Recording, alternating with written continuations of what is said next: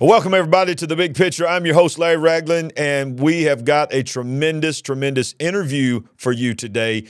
One of my great friends, Sandy and I love her so much, and you are going to love her. Many of you know her, but some of you are going to be introduced to one of the greatest women of God and creative and, and just all around amazing woman that you will ever hear or see in your life. She's lived the life of, quite frankly, I believe five to 10 people. And we're going to hear just a little bit about her story. But before we get into our special guest, I want to remind everybody that right here on the Big Picture Live, every Monday night, Sandy and I co host the Big Picture Live. It is a breaking news live show where we cover current events, where we're, you're going to, we're going to talk about things that you're not going to hear anywhere else. You're not going to hear about it on the mainstream media.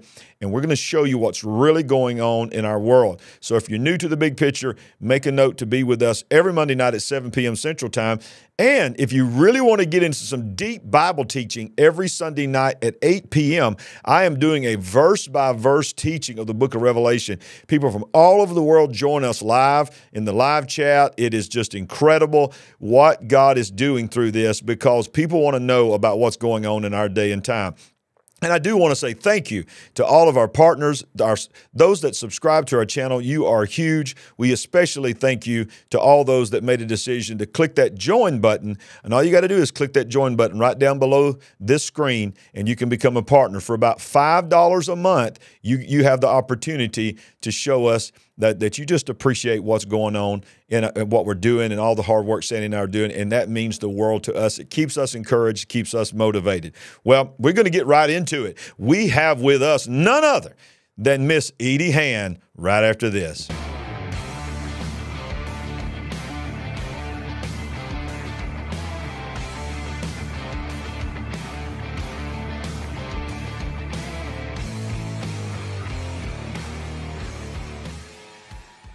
Miss Edie Hand is a businesswoman, a speaker, media personality, filmmaker, international author, and mom. She has co-authored and, uh, and authored and co-authored, I should say, over 25 books. She started national commercials, daytime television soaps, hosted national TV programs, developed several radio shows and vignettes across the country. In recent years, she partnered with her amazingly talented actor son and businessman Link Hand to form Hand in Hand Entertainment to continue her writing in film, television, radio, and podcast. Edie also founded the Edie Hand Foundation. We'll hear a lot about that on the show. And she comes from, this is amazing, y'all. You're going to love this part. She comes from an amazing, wonderful family heritage of songwriting, acting, and music. And I want you to listen to these, these names here the Hood Hacker Presley family, her legendary, yes, I'm going to say it, I'm going to say it. Though everybody on this show knows how much I love him. Her legendary cousin, Elvis Presley, uh, that she learned firsthand about paying it forward through him. I want y'all to welcome and show some love for Sandy and I. I mean, we just adore this lady, Miss Edie Hand. The crowd's going wild. You hear them? They're going crazy. I love it. I love it well, we are honored, honored, honored to have you, Miss Edie, with us on the program. You you know how much Sandy and I love you. Uh, we quickly, quickly learned just what an amazing person you are and what you've meant to us. So, welcome to the big picture. Thank you, Larry, Pastor Larry. I am so honored to be here and be a part of your program. Well, uh, and you and Sandy both have touched my heart and your church and just meeting the women that are surrounding Sandy and helping to spread the word of the gospel uh, just touched me when I was able to be a part of a few of your programs. And thank you for being a part of my world now. Oh yeah. Well, you know, I want to real quickly just tell everybody that's watching the big picture how we met Miss Edie. It's an incredible story. So, you know, our, my book is coming out very soon, nationwide, and in hardback edition. You'll have there'll be a future show where I detail that in, uh, completely.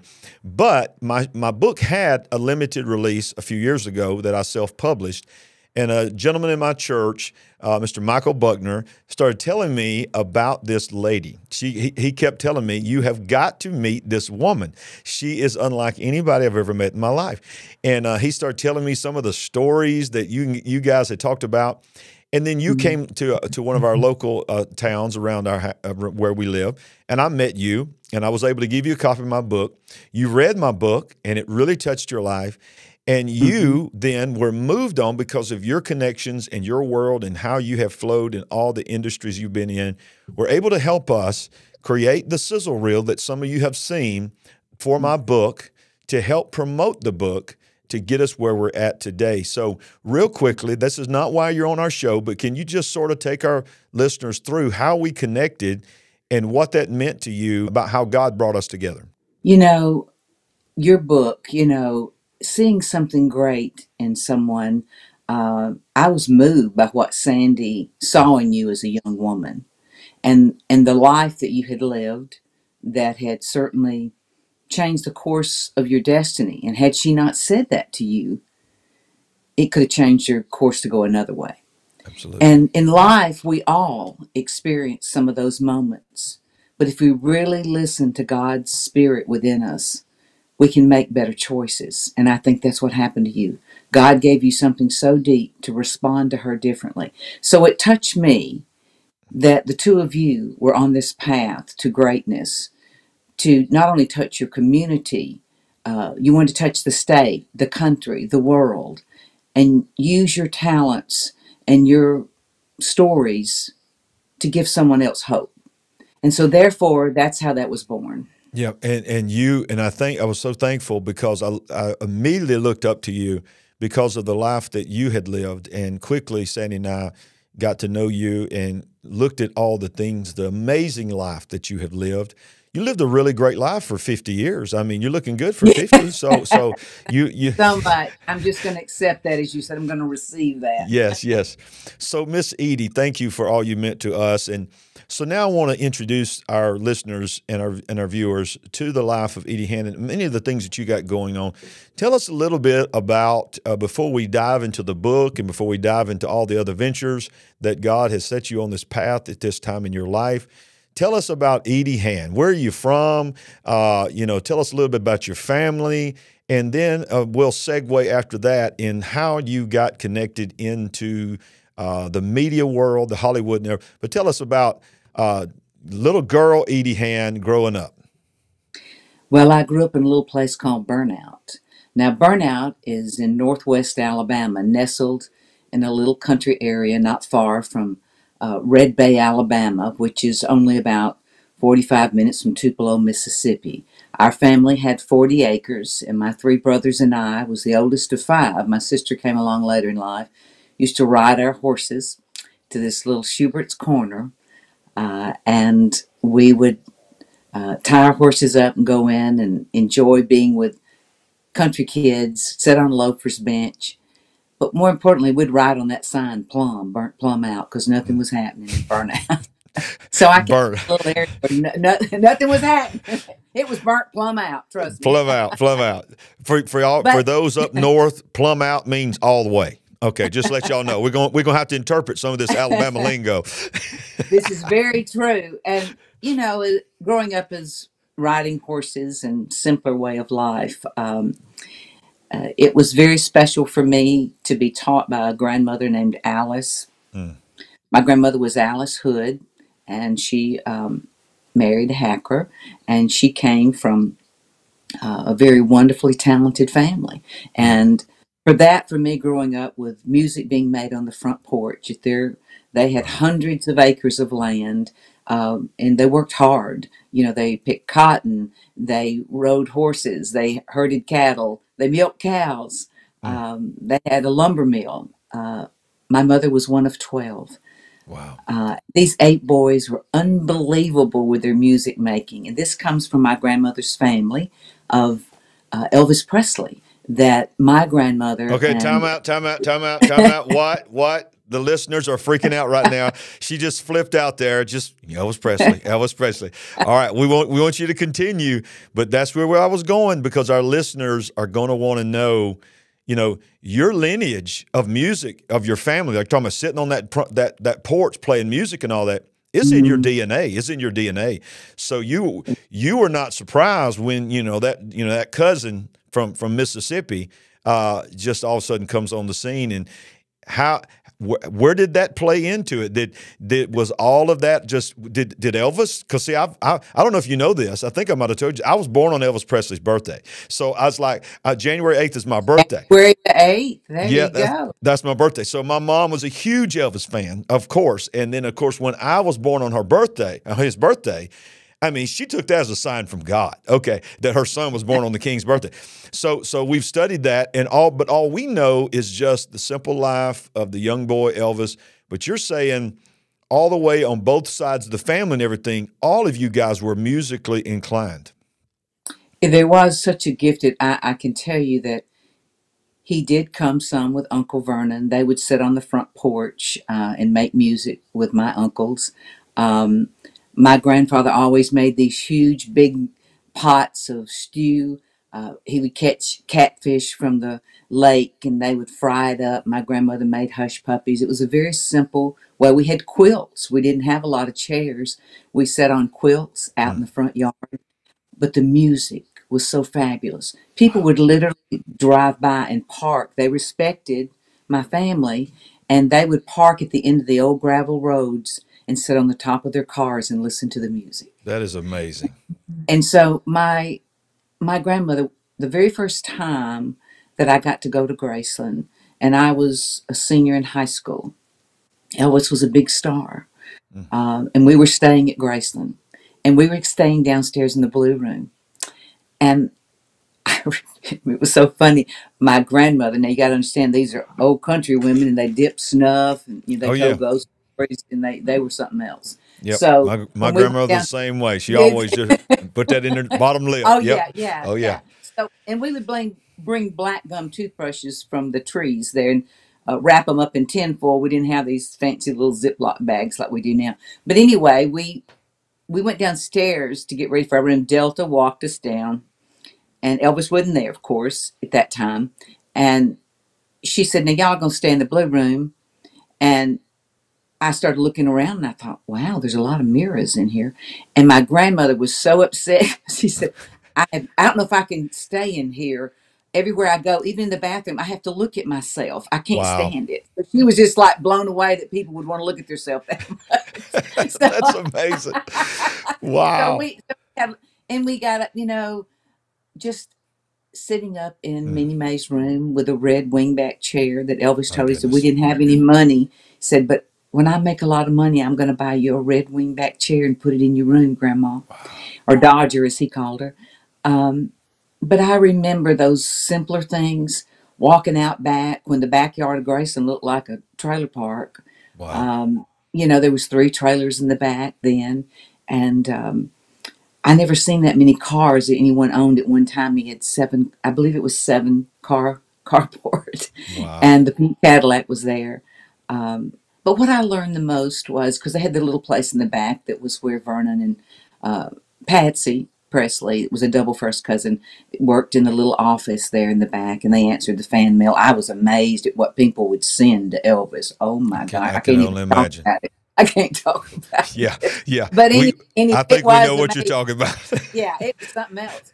But anyway, that wasn't it. It was the fact that what I saw, the way he paid life forward one Yeah. holiday, and I got to meet uh, the Thomas family, Danny Thomas family, the founder of St. Jude, because of this, and knowing that Elvis gave his yacht to Danny, and Danny's middle daughter, Mm. um, Terre Thomas, and I became friends, and she is my only son's godmother.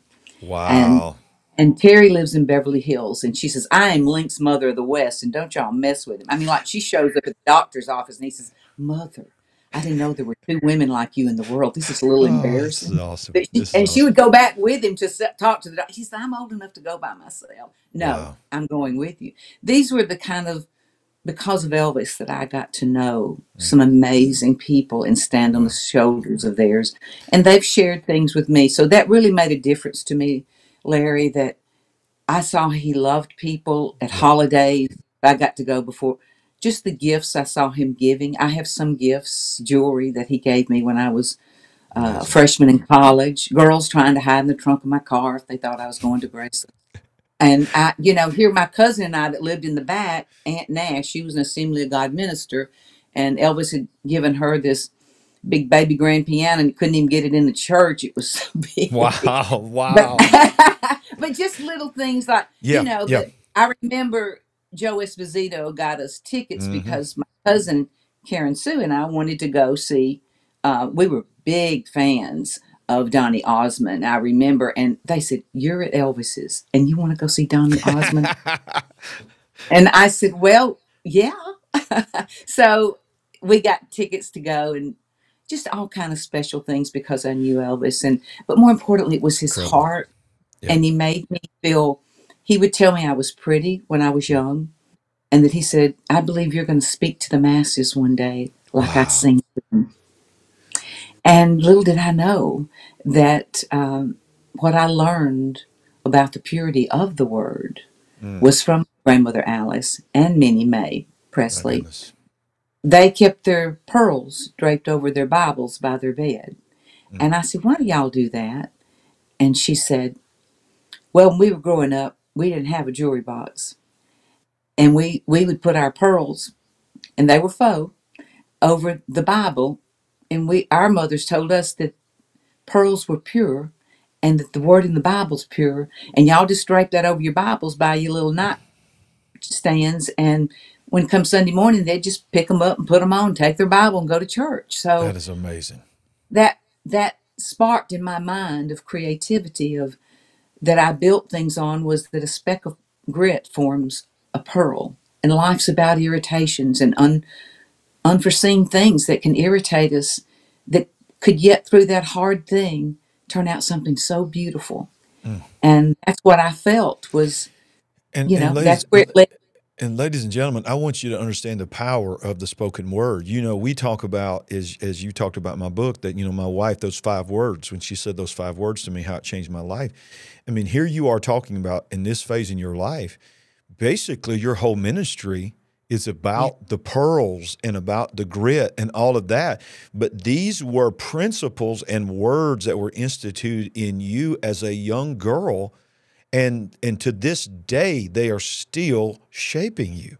That is the power of the spoken word. That is that's why we need to do everything we can do. And that's when i love to hear these kind of stories about elvis because if you follow elvis you know you're going to see these documentaries where you know elvis went down the road and made some bad decisions and all this kind of stuff. Mm-hmm. You don't get to hear the personal side and you don't get to hear his his lineage his legacy the people that shaped him who they were who he was down deep inside of him that man had the word of god in him and you're saying that while you were at graceland and being around your family principles of even elvis presley's family and your cousins your aunts and your uncles are still shaping you today That is the truth. Even my uncles, after my mother's brothers, would say, We want Edith to come to our community events. And I'd go, uh, Why?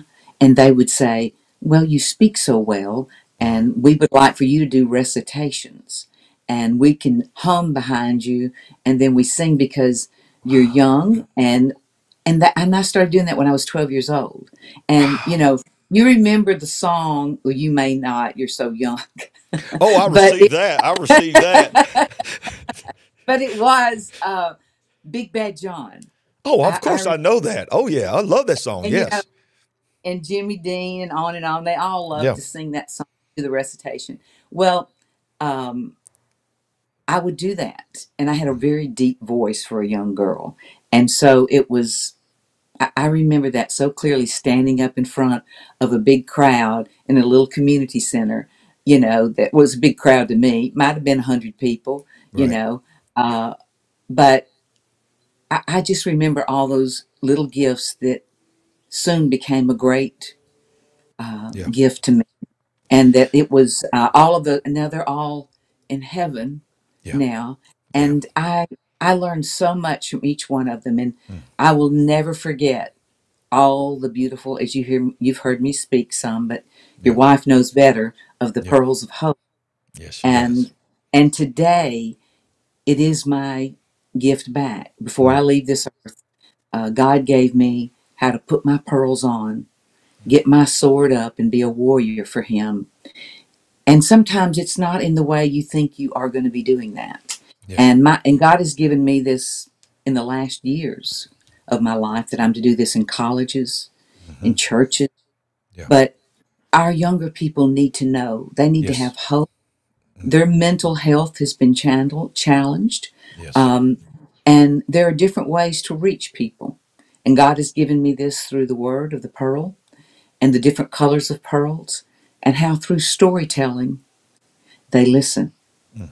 And they also like to know you can wear different hats and you can be cool even if you're very seasoned like me. Yes. And and yes. they they um, they like that, and yeah. I have enjoyed being around them.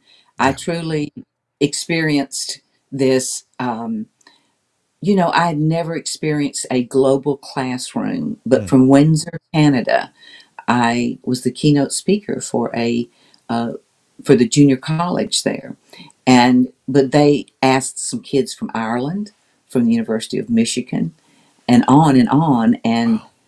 I was amazed at how we had this classroom, global classroom, and they taught me how before the show to click on and go down into the classroom and they could ask me questions and see me. And it was amazing to me. And I said, Yeah. Oh, now I know what Elvis and my grandmother meant. Wow. That um, I was to share the pearls of hope.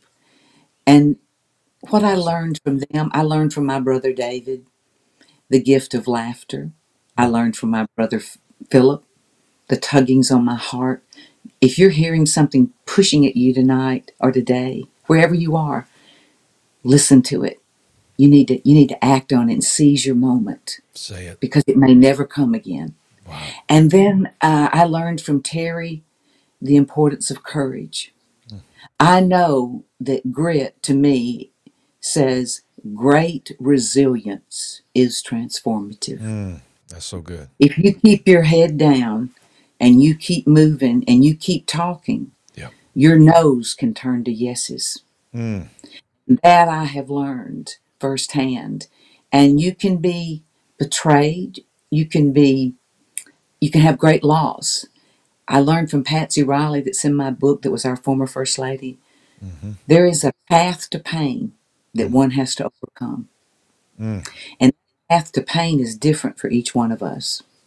And she honors her path of pain from losing her daughter, one of her daughters, to cancer. Just before she became the First Lady of Alabama, her husband, Bob Riley, was a congressman.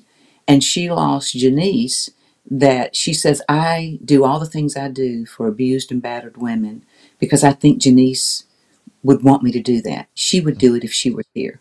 We, our voice could make a difference. If you think your voice didn't make a difference, it does. You can, you can, if you lead one person to change their life. Yeah. You have glorified God. Absolutely. And, and and I know that this is where this is going and why I have been given the opportunity to share so many women's voices because yeah. without like you, we could not do that. We all need each other, no matter who you are. It just happens to be this is what my niche is and what I'm doing from my heritage uh, of my trials in life and my losses yeah. to my triumphs. And I feel refreshed at my age. I thought I was done, but I'm just getting started again.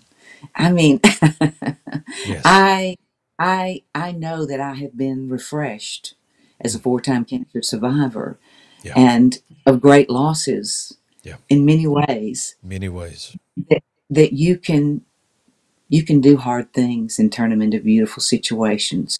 You you really can. I tell you that there are tools to be learned from someone that crosses your path every day if you keep your mind open. And I, I believe that with all my heart. And Elvis believed that. He was a seeker.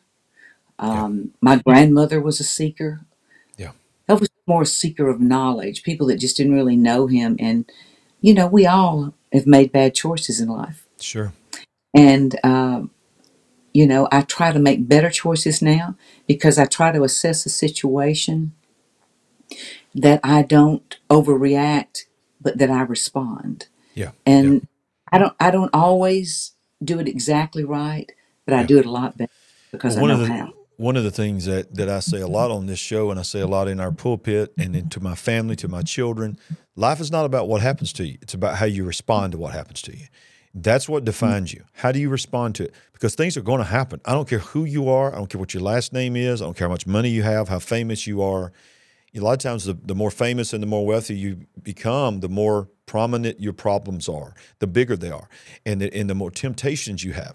But it's about how you respond. And that's why I love, love, love what God is doing with your life, Miss Edie, is because the women of true grit and the true grit is is you know that's how the pearl is made the pearl is made by pressure the pearl is made by you know sand rubbing all and process of time and all these different things and mm. so so we you know you have the ministry of women of true grit and you know you've lived a life that w- maybe we need to do another program just to talk about the mm-hmm. life that you live ladies and gentlemen miss edie has suffered great loss uh, the three brothers that she talked about she's lost those mm. three brothers uh, just other people in her life and even as recently on January the 8th, uh, celebrating the, the King of Rock and Roll's birthday. You were in Memphis.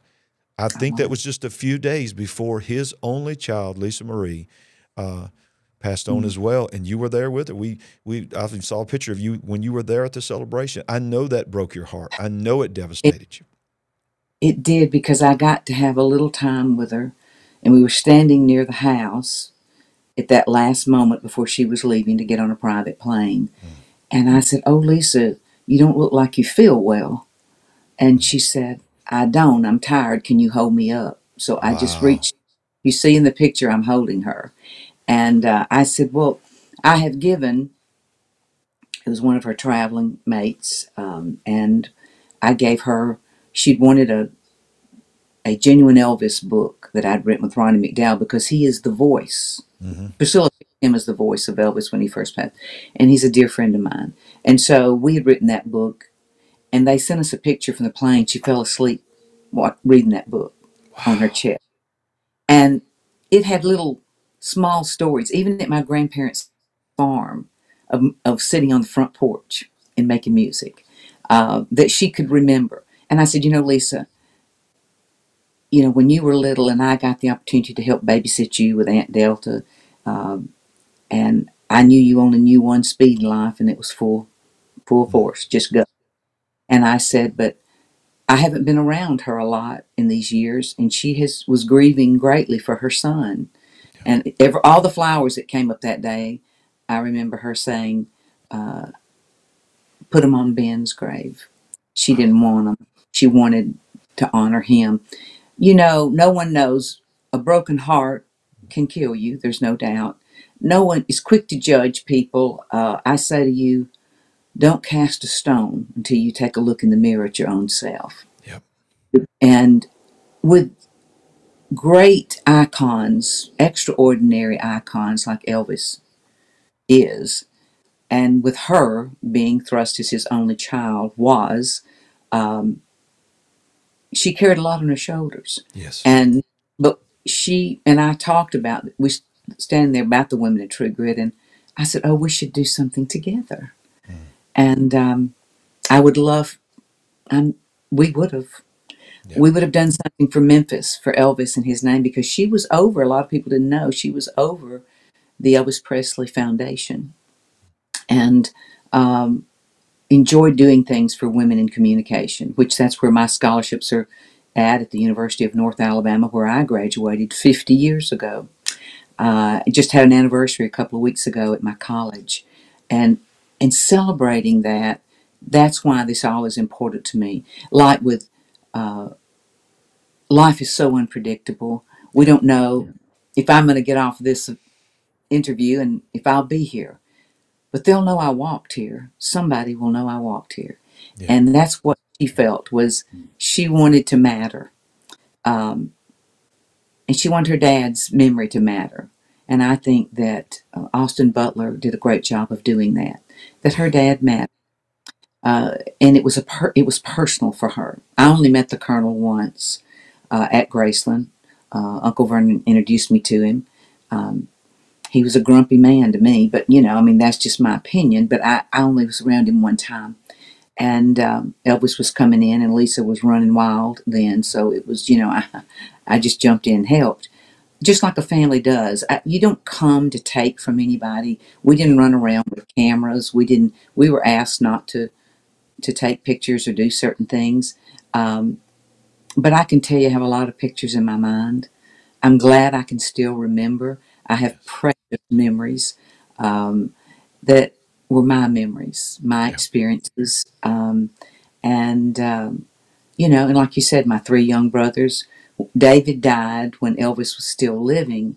And I was a senior in college, and I remember going to Graceland, and that I did get to speak to him because of Minnie and Delta about that death. And David was only 19 years old. He was the first person I ever really loved as a guy. My my brother and I were tight. I was like another mother to him. And so someone to die at 19 in a car accident, another one to die 10 years later in another car accident at 23, another to die 15 years later with an aneurysm in the middle of the brain and to caregive. If you've never been a caregiver, it's not an easy job. And it's it's um, it, there were a lot of experiences that prepared me for each journey in life, even with my own son and the beauty that I see and I share that he's carrying on another generation. He does films. Um, he's wrapping up the season. He's he's been filming in Hawaii with NCIS Hawaii, and he's done six shows, and he's going to be on the um, the big finale. If you all want to watch it on May the Yes. 16th, you'll see L I N C link hand pop up there. He said, well, I know his mama. So that's, um, we love being real. Yeah. And that's what I found no matter where I go. Yeah. If it's to Europe, if it's to, you know, if it's to um, Canada, if it's to California, if it's here in Alabama, Yeah. I spent a lot of time in Tennessee, is people are looking for kindness, hope, and authenticity. That's the Uh, truth. So there you go. I, I Well, feel like I- that's what I'm trying to share. That is, and and and Miss Edie, you you are continuing the voice of the legacy of those that have gone on before you, wi- from your brothers to your parents to your aunts, your uncles, your cousins, and and you and your son together are with with what God has done with with your production company, the things that you're doing, the people that you're helping. I'm one of them. You know, I I really think about the fact that you know for those that are wondering about our book, I I'm able I was signed as an author with a very powerful uh, publishing company that has decided to go all in with my book. My book is coming out hardback. It's going to have a master, a 20, I mean, a 16 episode masterclass with it. It's going to have a study guide, a small group study guide.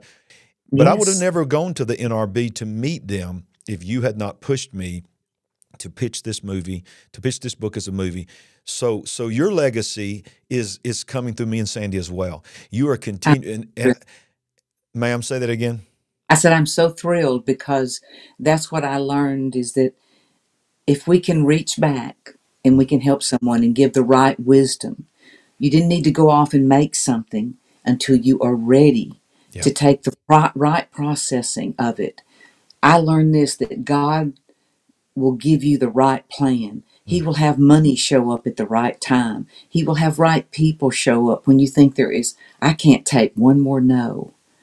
But you, I've watched you, you are a man of great resilience, and you are a man that will touch the masses more and more. And I am glad I'm going to get to see it.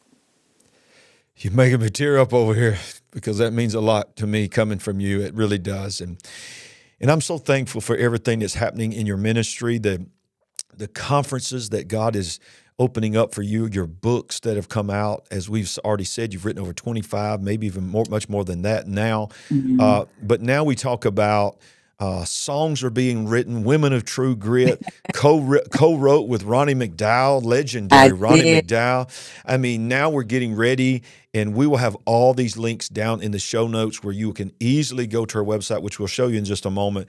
But tell us real quick, Miss Edie, about the upcoming events that are happening, how people can plug into what God is doing in your life, what this means. What does Women of True Grit mean? The book, the people, the benefiting Miles Scholarship Program, all of the things. Just take us through a quick rundown of how people can get involved with Edie Hand. Well, anyone can go to my ediehand.com to learn more about what I'm doing.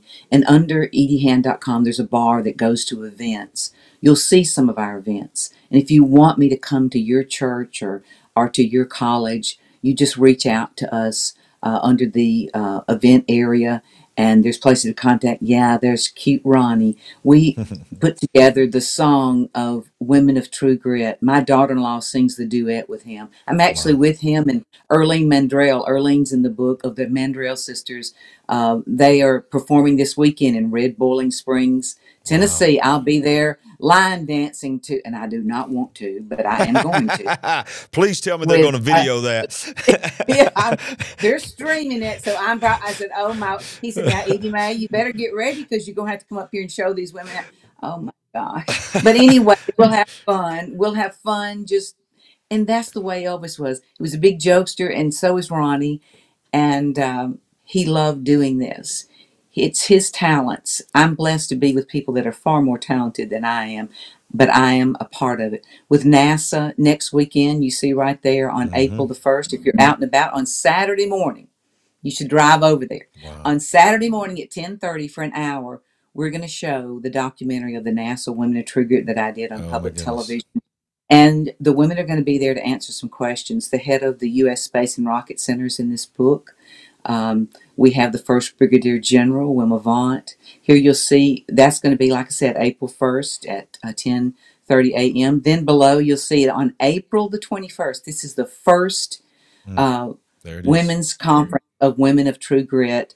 Uh, President Bobbie Knight, there in the red, is doing amazing things to help kids to not have to pay funds, helping to start women's scholarships, the funds that are raised for the tickets there, you get a book, you get a, a Women of True Grit book, you get um, a backpack, you get some goodies, and there'll be recruiters there, like from Drummond Coal Company, mm-hmm. Alabama Power, Coca Cola, that want to make a difference for young people and give them opportunities.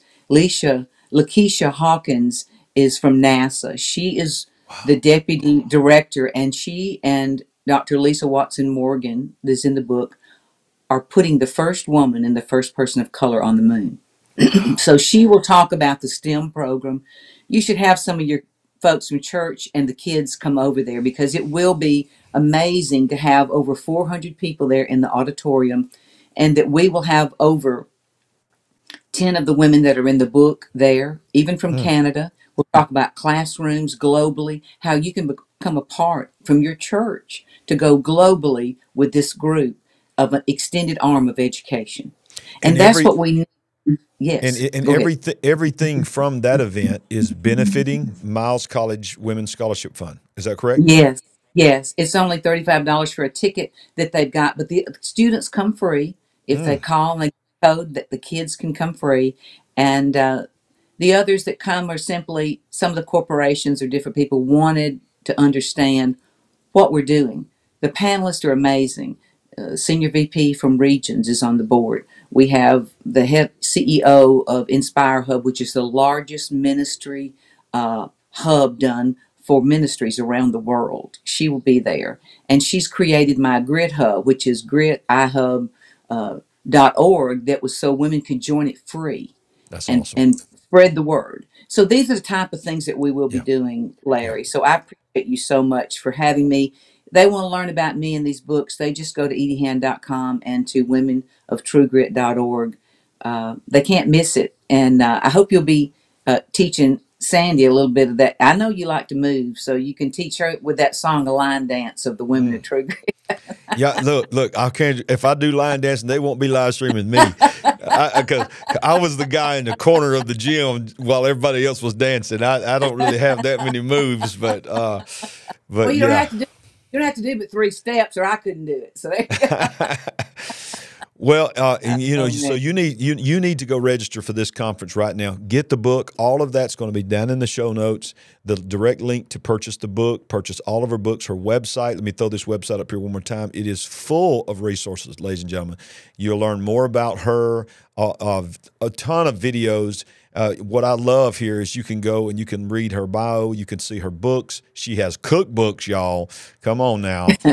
somebody from burnout. Feel the arteries hardening because yeah, bur- bu- the arteries are hardening. We did a Presley family cookbook, and I said, "Oh my lord, who cooks this way?" But anyway, it was a lot of fun. But that's awesome. It, it is not healthy. lot, lot of film and video. You'll just see all kinds of things from her website. So every all of that will be in a quick direct link down below.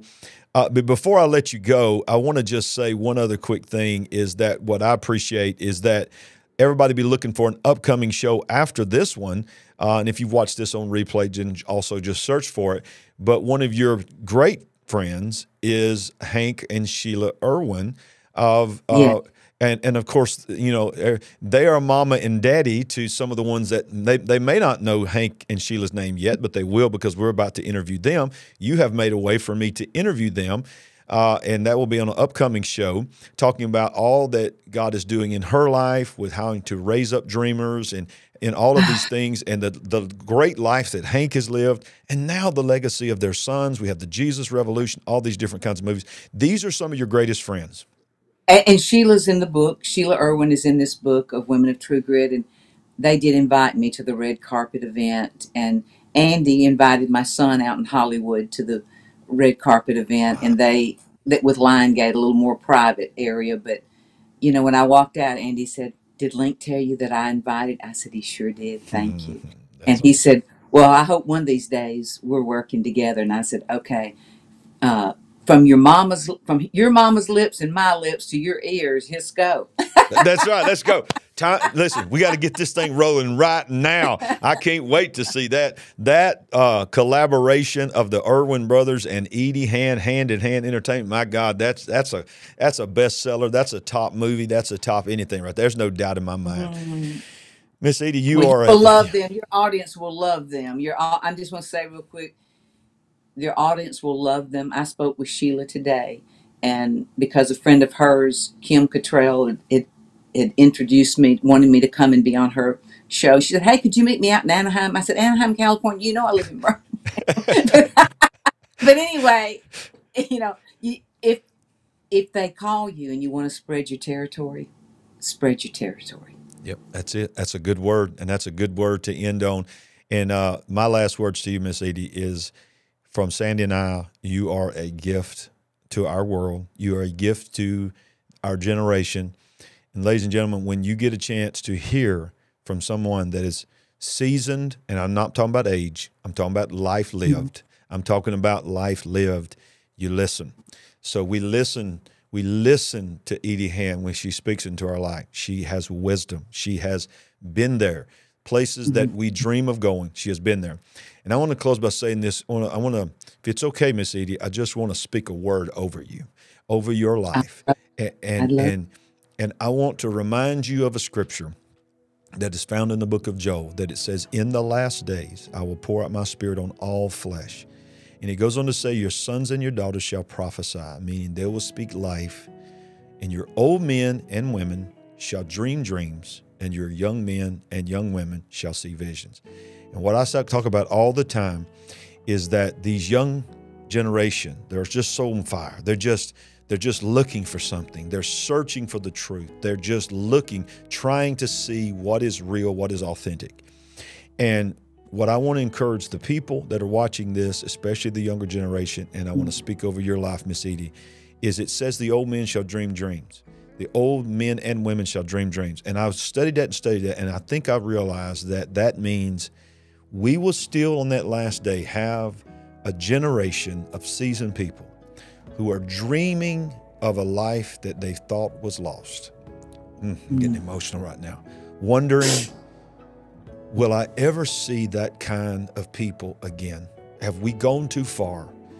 And you will bring a wisdom to us and to, to, to I consider myself part of the older generation now, but of the younger generation will speak wisdom into us in the most critical time that we ever could.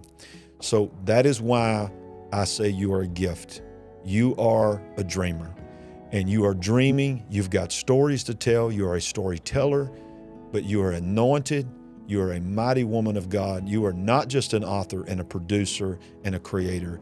You are a mighty woman of God, and we value your voice and your dream. So God is not only is He not through with you, He's going to do more in a year of your life and has been doing it, but he's about to do more in a year in your life than he could do in 20 years of your life. That is what is ahead of you, Miss Edie.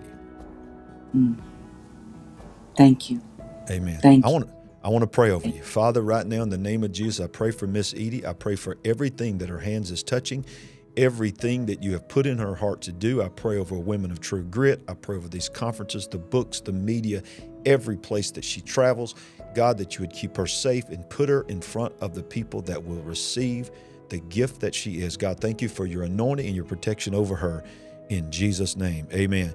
And and if you watch this thinking, I'm just gonna, I'm just watching uh, somebody interview an author. and what, what's this? You talking about Jesus and all this? Do you know what channel you're on right now? We're going to talk about the Lord. And Miss Edie, every time I've been around her, she does the same. So thank you, Miss Edie, for joining us on the big picture. And uh, we will we will get some people to that conference, and we will get a bunch of people over to that website. And every one of you need to buy that book. Thank you. God bless you, Larry. God bless God you. bless you. And I want to just say to those that have watched this program and been with us, how much it is a blessing that you have been with us. If you have not already hit that subscribe button, do this, hit the subscribe button right below me. Most importantly, hit that thumbs up. That puts us in front of people that don't normally follow us. And if you decide you want to become a partner, all you got to do is hit that join button. There's other ways to give down in the in the description if you'd like to do that as well.